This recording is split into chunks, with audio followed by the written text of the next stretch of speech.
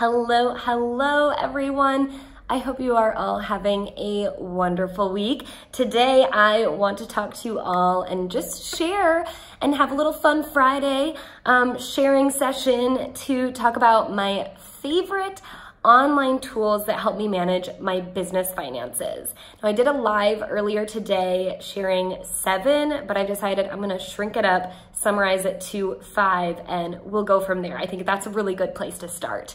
For those of you who do not know me, my name is Tess Wicks. I'm a wealth and mindset coach for fellow online coaches and other service-based online entrepreneurs. I help them learn that they can make and manage money with total ease by implementing a simple system and doing a couple mindset tricks and learning the exercises to do to work on their mind. So let's get started. Here are my five favorite online tools to manage my business finances. I don't think I could run my business without these. The first one is my bank account. And I have a separate business bank account. I think everyone needs to have a separate bank account for their business if they don't. If you don't, go ahead and get started with this. You are not like late or behind, now is just the perfect time to start to help you be so much more organized and therefore you can make so much better decisions for your business. So I won't get into the nitty gritty about business bank accounts, technical business bank accounts versus personal bank accounts. Honestly, if you just have a separate bank account that is technically a personal bank account, that's a great place to start. There's additional benefits that come with having a business bank account for your business, but we won't get into that today. I have a business bank account and I bank with Spark which is a Capital One bank. Um, unfortunately, they have discontinued new members at this point in time. I don't know what they're going to do. I'm holding tight on that. I really hope that they open up to more people because they're such a great product. They allow me to open up as many checking and savings accounts as I want, and they don't require any sort of minimum balance or charge me any monthly fees. And I think that is the gold standard for banks in general, um, especially especially if you are in the market or on the market for a business bank account, really try to find one that charges you the minimum fees and has very low requirements while offering you the ability to open up multiple checking and savings accounts. I think your best bet is probably to go to your local bank or credit union and talk to them face to face and tell them, hey, this is gonna make my life so much easier if I can open up multiple accounts and you know maybe they can do something for you. I do know, I'm pretty sure Bank of America does help you open up multiple accounts, but you may have to visit them in person at a branch. So not quite sure about that, but I will double check and get back to you all in a future video. Anyway, that is my number one tool. The number two is Stripe and PayPal. Now, most people are aware of Stripe and PayPal. They're just payment processors and you generally have to use them in order to accept payment via credit card or debit card that can be run as credit card. So I use Stripe mostly, but I also have a PayPal account. Um, typically I use Stripe to gather my client's card information and then I will automatically, technically it's manual on my end, but for my client, it's then an auto deduction from their account and I can charge them thus for our months of coaching in the future. Um, alternatively, I also use Stripe. It connects through to my course platform, and through my course platform, it can set up automatic uh, payments. So Stripe and PayPal are great. Um, they're technically free to set up, but they aren't actually free. You pay a percentage of the revenue that you make. You pay a certain percentage plus a certain amount. It's like 30 cents or something per transaction. So that's kind of the cost of doing business, that's what I consider. The third one that I have is not really an online tool, but for me, I consider it pertinent to the success of my business, and that is the terms in my coaching agreement or contract. I have certain terms that let my clients know that they will be charged automatically on the same day every month. Um, also, you know, certain terms around how I expect our calls to happen, how I need these boundaries in place in terms of time because for me, my time is money.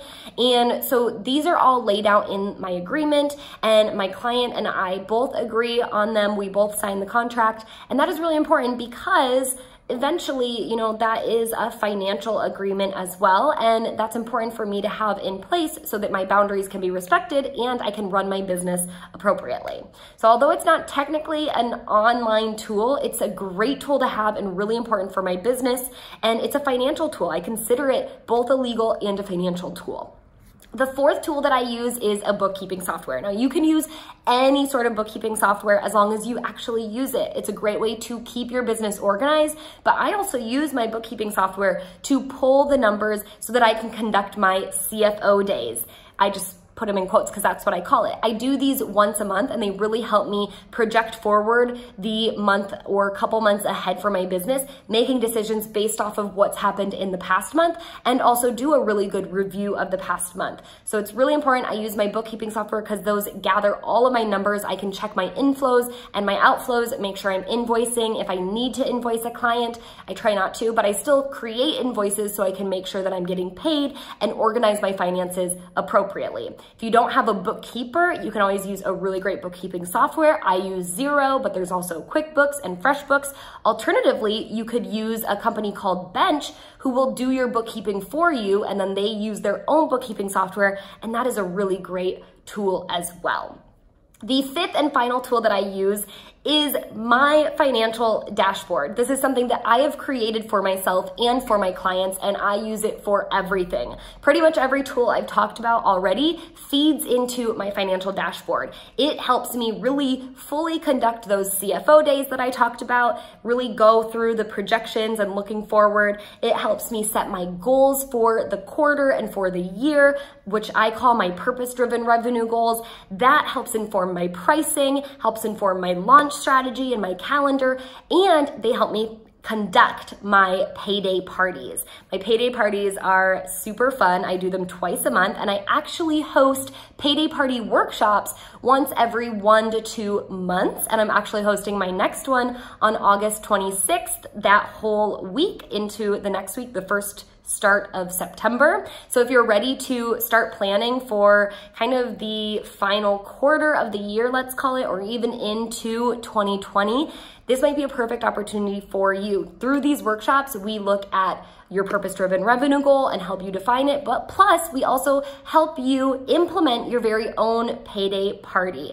And we conquer some mindset stuff too, because mindset is a huge part of our business as well as part of our money story and working with money. And you need to understand what may be blocking you so you can move forward. So if that's something you're interested in, you can go to wanderwealthy.com slash party to learn more about what goes into a payday party and what it looks like. But You'll also get a sneak peek at my financial dashboard, which I use with my coaching clients and get a piece of that dashboard if you sign up for a payday party. So you can get on the guest list at wanderwealthy.com slash party. And if you wanna find out more about setting purpose-driven revenue goals, and you can also get into the funnel to see what the payday party is all about, you can also sign up for my easy profit roadmap, which you can find by going to wanderwealthy.com slash roadmap. It's a free download. You can get it, learn my process, and do some easy profit math and set those purpose-driven revenue goals. So those are the five online tools that I use in my business to help manage my business finances.